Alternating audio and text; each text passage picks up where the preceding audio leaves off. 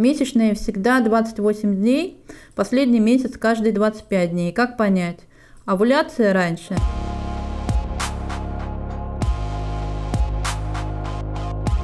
Могут быть разные ситуации. Может быть овуляция раньше, может быть овуляции не было.